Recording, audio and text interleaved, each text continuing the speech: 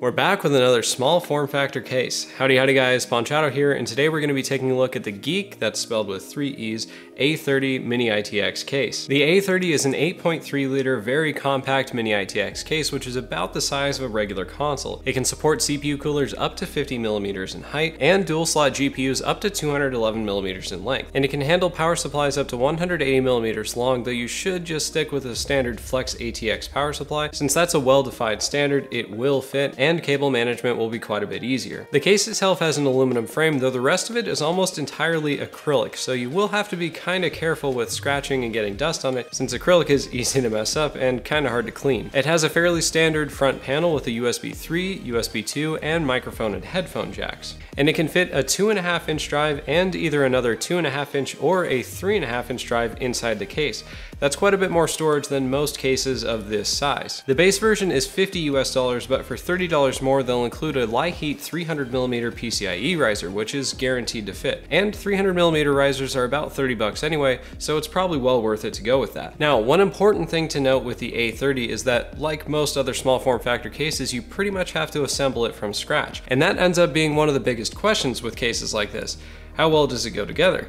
So let's take a look at the build process. They do have the nuts in a nice organized container, but each acrylic piece comes with a protective plastic cover on both sides, which you have to painstakingly peel off. That part took about 30 minutes. Anyway, let's get to the assembly. It starts with installing standoffs on the two left side interior panels. The instructions on their website are pretty well annotated, so putting everything in the right mounting hole is fairly straightforward. Next step is to screw the threaded spacer into the 250mm aluminum bar. The acrylic panels are held to the aluminum bars with nuts that fit into the channels in the extrusions. The aluminum is what forms the frame, but the acrylic is what holds it all together. The right side assembly is the same. Lay out the aluminum bars and mount the acrylic panel to them to hold them in place. Once the right side is built, the next step is to mount both side panels to the back panel. This part is a little easier since the ends of the aluminum bars have threaded holes, so you don't need to deal with lining up a nut in the channel. Just make sure the bars you use for the horizontal position have threaded holes. Two of the bars aren't threaded and those are supposed to fit on the upright vertical section.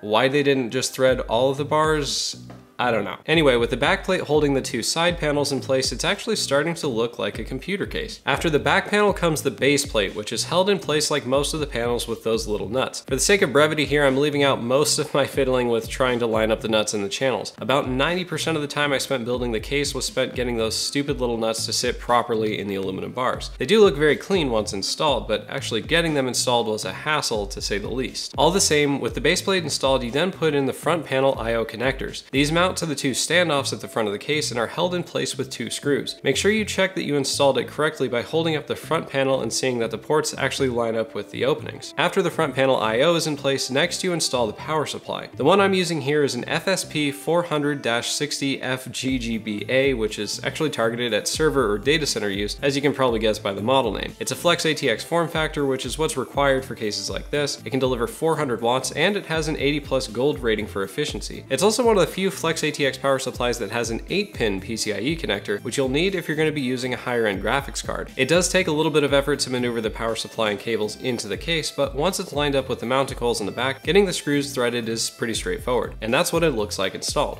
Neat. At this point, you can install 2.5 inch SSD that'll fit on the back side of the lower panel opposite the power supply, but I won't be installing any extra drives since I wanted to go for a cleaner look. After that, the PCIe riser cable gets mounted to the two shorter standoffs near the base. Bending it into an S shape first will make things easier when you're trying to fit the motherboard in. Two screws hold it in place, and now you have a solid mounting spot for the graphics card. The next step is installing the motherboard. This is actually one of the easier parts of the build process. Put the rear IO shield in place and hold it, then just drop the motherboard in and line up the mounting holes with the standoffs. Four screws go in and the motherboard is mounted. At this point, you can install a second 2.5 inch or a 3.5 inch drive, which will fit into the front of the case. Again, no extra drives for me, but the option is there if you need it. After that, the graphics card goes in, which is also super simple. Just plug it into the already mounted PCIe riser. Quick note before we get to the fan installation, the feet get mounted to the bottom panel with the same screws that hold the fan grill to the top panel. The instructions for the feet weren't labeled very well, so I didn't realize that until this point in the build. If you'll be using fans, the installation is fairly easy since it's done outside the case. First, figure out which way you want the wires to come out, then line up the mesh and fan with the mounting holes in the top panel. Once you've done this for both fans, the fan grill fits in place on top of them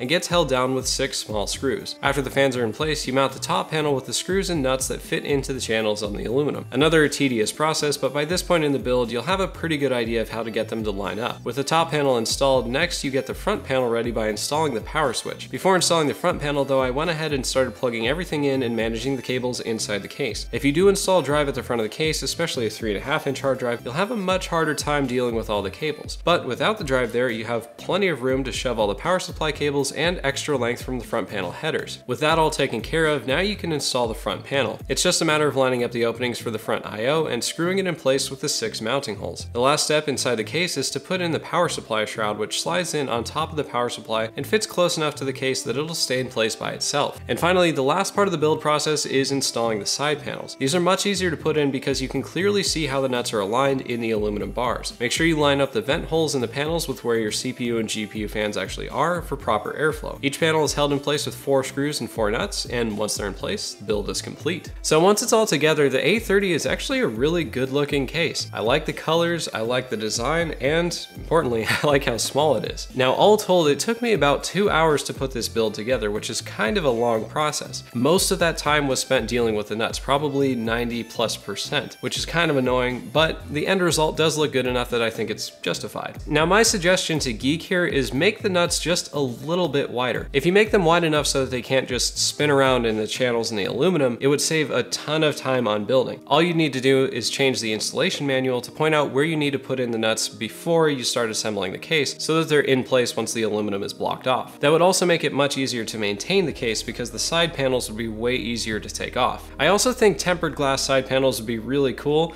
but I'm not sure if you can cut vents into tempered glass or if it'll just blow up if you do that. Would be really cool though. Overall, this is a really good looking case. Assembly isn't hard, it just takes a while, and it offers plenty of room for cable management, which is super nice in a build this small. Plus the fact that it can handle GPUs up to 211 millimeters means the majority of graphics cards out there today will fit in this case. And it can handle a 2.5 inch and another 2.5 inch or 3.5 inch drive, which means for the vast majority of people, it can fill all the same practical functions as a full-size micro ATX or ATX case. And that's despite being much, much smaller. Just keep in mind that the instructions are good and pretty well annotated, but not completely perfect. So you won't just be able to do this build on autopilot. That said, I think the final result is very well worth it. If you want to pick up an A30 for yourself, a link is in the description below, along with the power supply I use because we know that it fits. Hit subscribe and click the bell icon to get notified of new videos as soon as they're out. So guys, if you like this video, hit the like button. If you want to see more, hit subscribe, and I want to hear from you. Do you think mini ITX PCs are worth the extra hassle of assembly? Let me know in the comments below. Thanks for watching, I hope I helped, and I'll see you in the next video. Ugh. It's an 8.3 liter, uh. Now, one important note. Now, one important thing to note with a small, with this, the A30, Jesus. Yay, we're done. That wasn't that bad. That was not bad at all. Only two takes. I'm getting good at this.